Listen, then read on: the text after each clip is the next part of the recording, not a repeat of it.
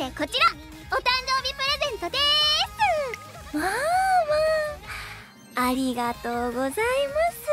パルコさん アクリルビーズセットだよビーズ編みでぜひぜひ使ってほしいのオーロラカラーが可愛くってね秋音さんに似合いそうって思ったんだへえオーロラかなどんな色なんですかねなんて言えばいいんだろう。テラテラってした虹色がこう薄くかかってる感じ？